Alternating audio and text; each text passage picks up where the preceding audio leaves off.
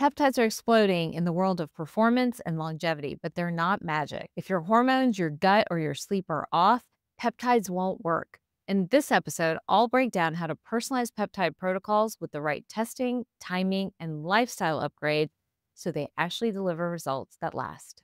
Peptides are all the rage, and I'm getting a lot of questions about them in practice. So I thought it'd be a good idea to sit down and talk about it for just a second. First of all, when we're going to talk about peptides over the next few minutes, it's not talking about GLP 1s. GLP 1s are a form of peptides, but they are more targeted towards weight loss, different from the peptides we're talking about today, which have been huge in the field of regenerative medicine, anti aging medicine. And there's some exciting stuff going on in the field, super exciting. I first learned about peptides about three or four years ago, and we were excited to begin to use them in practice. Many of these peptides, which by the way are sequences of amino acids put together naturally occurring in the body, but have found to have independent healing functions in isolation. As we started to wrap our heads around it, play with it, we started to see some amazing things in practice to the point that we wanted to understand and learn more. Since that time, peptides have become more common, more popular, they're actually even available online, although the sourcing is often debated, but we use it in practice as a part of a holistic strategy in dealing with many different areas of the body. And we're going to get into that in just a second. But peptides conventionally have undergone a huge debate. When we started out, those three or four years ago, there was a list of peptides that I could pick from and choose from. But then a year or two into that, the FDA took many of those peptides off the FDA approved list which is all to tell you that some peptides are truly FDA approved and some are simply not. It doesn't mean that they don't work, but they haven't undergone the FDA scrutiny to get that stamp. So many of them got taken away. And over time, we're seeing some of them slowly start to come back. The other thing that's been like super interesting to me is the uh, sort of the evolution of the peptide clinic, where you go in and you get a cocktail of peptides that are supposed to help whatever condition. I find that interesting because I don't think there is a one solution strategy to many different issues that deal with the human body. Remember, a part of the holistic approach or the functional approach is that many different factors are influencing a particular area of the body. So, whether you have joint pain or hair loss, or you're having trouble losing weight, or you're having issues with your skin or your immune system, all of that needs a targeted holistic approach. So, welcome to HolPlus, where that's exactly what we do day in and day out. And some of what we are trying to do as we bring peptides into the equation is to first make sure we've checked off some basic boxes. Now, when we are looking at peptide therapy, we are usually thinking about it for a particular condition. So, in general, we want to at least make sure our patients are following an anti inflammatory diet. They're getting in some key nutrients, which we know help to build peptides. These include things like the B vitamins, magnesium, getting the right amino acids in, zinc, and even glutathione.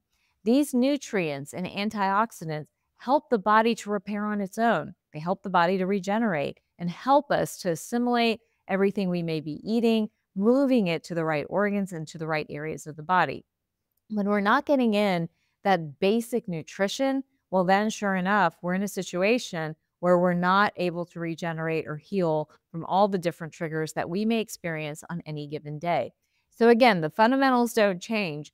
A healthy diet, getting in the right micro and macronutrients, getting in antioxidants to help support things like oxidative stress and inflammation, and then really monitoring sleep and stress because they all play a role in what is happening with our peptides. Now, in addition to that, hormones influence this conversation too. So oftentimes when I'm going through a treatment plan or trying to build one, you know, we'll start with diet, we'll start with a few nutrients that a particular patient may need to support anti-aging or different functions of the body, move on from there into looking at sleep and exercise and lifestyle factors, but then also get into hormone optimization because that's a huge part of sort of regeneration, anti-aging, many of these things that we talk about.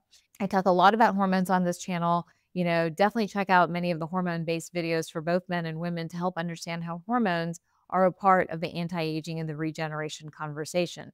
But as our hormones decline, the rate of aging sometimes will speed up, meaning we might see things like a slower gut or a loss of nutrients or even changes just in our skin, hair, muscles, and so much more.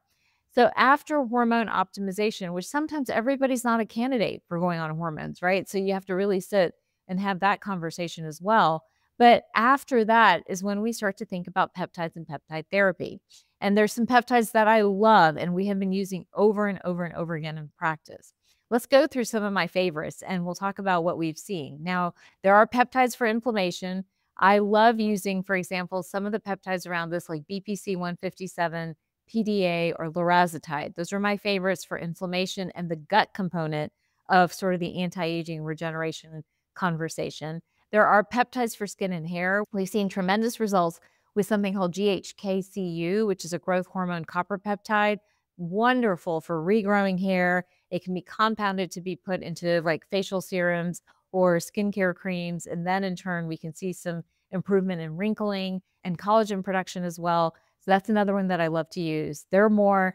CJC 1295 is one that we've used over and over again in practice to again help with just general hormone balance but also to help with uh, weight loss and fat loss. That one's been one that's been a game changer for many people. And then there's some that I would love for them to come back. They were taken off that original list by the FDA, but those include things like KPV, which help to control yeast or candida in many of our patients was a game changer for so many of them. So in addition to CJC 1295, we've used MOTS-c, we used AOD. These have all been a part of like a weight loss strategy. KPV was one of my favorites for helping to control yeast. That one is not FDA approved any longer and very difficult to find. We've also used thymosin alpha to help the immune system and to help some of our patients really struggling with different immune based disorders too.